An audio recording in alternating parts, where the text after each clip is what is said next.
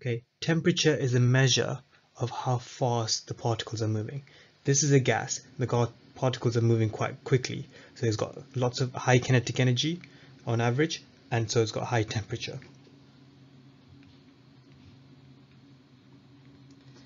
Then in liquids, it's moving more slowly, so lower kinetic energy on average, so lower temperature.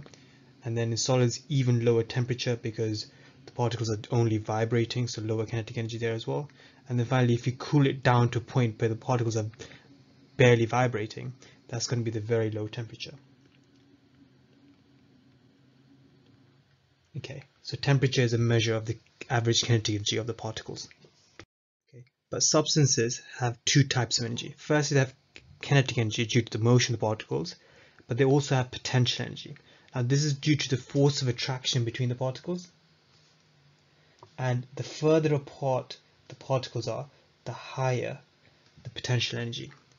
So substances have two types of energy, kinetic energy and potential energy. When you put them together, you get what we call internal energy of the object. So internal energy is the sum of the random distribution of kinetic energy and potential energy of all the particles that make up that substance.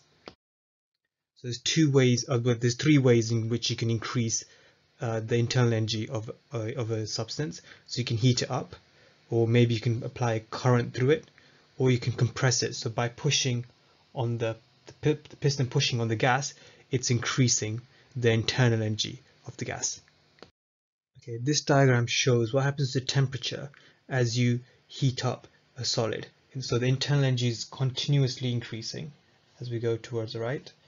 And as you can see at the beginning, we start off at roughly minus 15. So that's a very cold ice and you heat it up. So as the internal energy increases, the temperature increases. So during this stage, it's the kinetic energy of the particles that is increasing.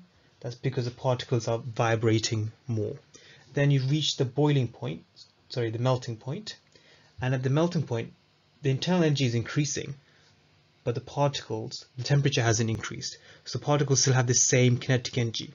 So that's because all the energy that you're supplying is used to separate the particles. So it's the potential energy that increases during this stage. The kinetic energy is constant. That's why the temperature is constant during that stage. And then once it's melted into a liquid, you carry on heating it. Now you can see once again the temperature is increasing. That's because the kinetic energy of the particles is increasing. They're moving faster, so higher temperature. Until you get to the boiling point, at which point, once again, the temperature is constant even though the internal energy is increasing. That's because all the energy supply is used to separate the particles further apart, increase the potential energy of the particles, but without changing the kinetic energy. So the temperature is constant at that stage. And then once again, you can carry on increasing the internal energy and the temperature. So you can see those stages, it's the kinetic energy that is increasing, the temperature is rising. And in the other stages where the, where the phase is changing, is going from solid to liquid and liquid to gas, it's the potential energy that's increasing. And you have to deal with these uh, different parts separately.